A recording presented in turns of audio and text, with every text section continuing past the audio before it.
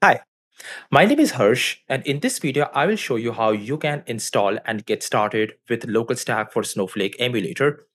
LocalStack for Snowflake is a new offering that allows you to develop and test your Snowflake applications on your local machine. It allows you to cut down your development costs and also reduce your product velocity. This video will show you how you can use the LocalStack CLI to get started with LocalStack for Snowflake emulator and also show you how you can run some sample SQL queries against the emulated Snowflake database using dbeaver. So without much ado, let's get started. To begin, you can install the LocalStack CLI. The LocalStack CLI is the quickest way for you to get started with LocalStack for Snowflake, and it allows you to set various configuration variables use advanced toolings like CloudPods, and more. Even better, it offers a nice experience to start and stop my Snowflake emulator. However, if you prefer, you can use the local stack desktop as well to manage the container.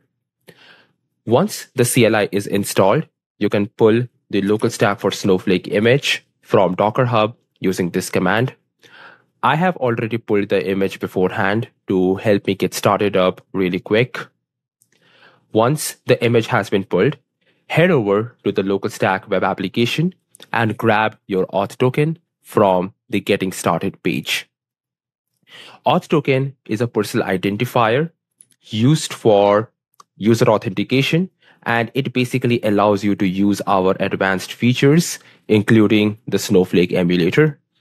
In this case, I'm setting my auth token as an environment variable so that the LocalStack CLI can pick it up and activate the advanced features.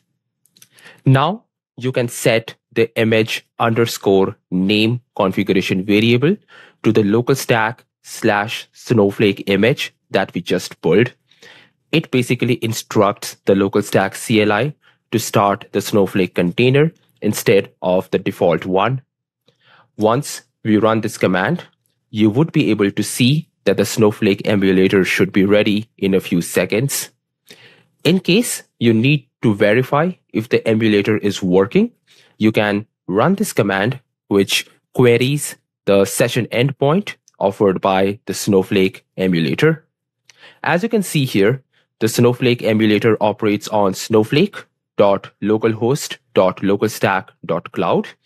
And this is basically a DNS name that resolves to a local IP address to make sure that the connector can interact with the local APIs.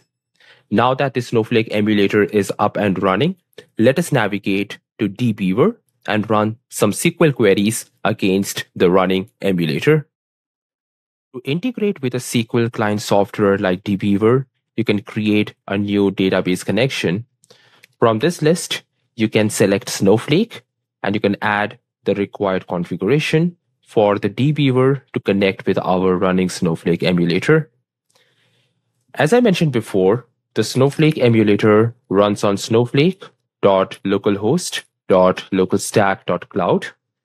The port can be then specified as 4566 because that's the edge port exposed by the Snowflake emulator, which routes the request you can then specify the database as test, while the username and password can be set to mock credentials. In this case, you can add test as the value. Click on test connection to verify if you can connect with the Snowflake emulator. Once it is verified, you can click finish.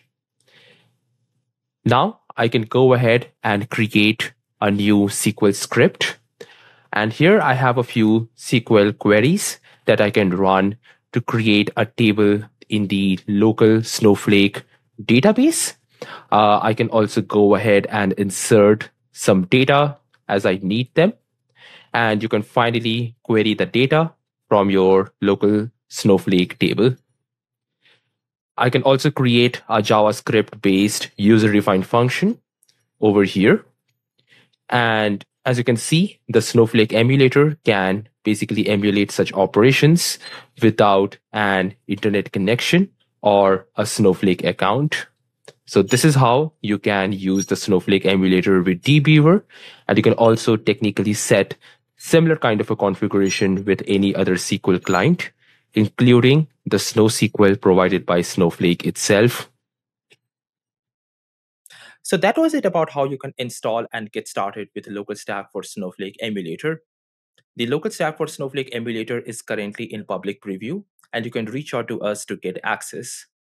In the upcoming videos, we will further talk about advanced integrations and how you can emulate complex scenarios to bring development and testing closer together. Until then, goodbye, and I hope I can see you in the next video.